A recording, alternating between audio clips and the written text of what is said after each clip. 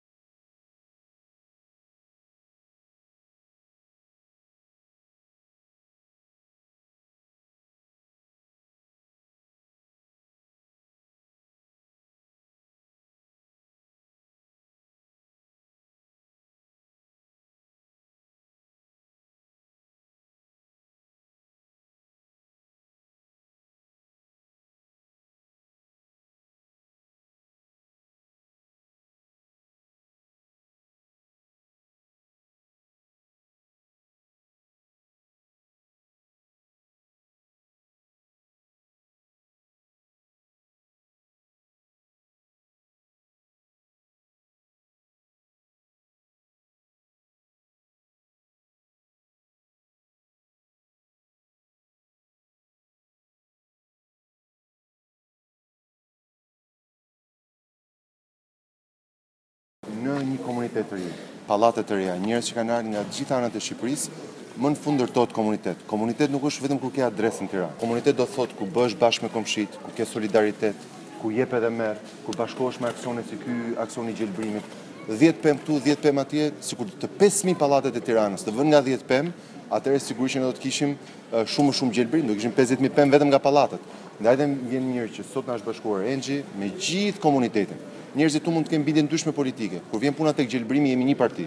Partia e oksigjenit, partia e gjelbërimit, partia e pemëve, e fëmijëve dhe të ardhmes së këtij qyteti. Kështu që jam shumë i lumtur sot që më në fund Në këtë Tiranë me kaq banorë që shtohet çdo ditë me nga shtatëdhjetë veta, që shtohet çdo vit me nga gjashtë shtatë mijë apartamente, ne nuk e ndalojmë dot këtë trend. Ajo që ne mund të bëjmë është të ndalojmë degradimin që kemi pasur përpara, ku çdo pallat fillon dhe ndërton pak komunitet me gjelbrimin, me pastrimin, me emancipimin që i ndodh komunitetit. Pas çdo pallati të administruar mirë, zakonisht është një grua nikoqire.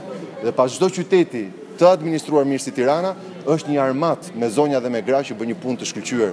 në qytetin tonë, kështu që teksa afron 7-8 marsi, kemi të tjera sebepe, të tjera arsye për të mbjellë pemë, qofshin këto për nënat, për motrat, për mësuesit, ndaj dhe dua t'i ftoj gjithë qytetarët, sikur secili të bëjë atë minimumin e vet, bëhet një milionësh i madh me kontributin e secilit. Që dua të falenderoj edhe gjithë artistët e vegjël të pallatit sot që na dhanë një dorë, edhe që besoj do na ndihmojnë në 7 mars që të mbjellim për mësuesit dhe pastaj në 8 mars për mamin dhe për gjyshen dhe për motrat, apo jo? Ne jemi pjesë e administratorëve të parë që kemi filluar domethënë këtë iniciativë bashkë me kryetarin e bashkisë.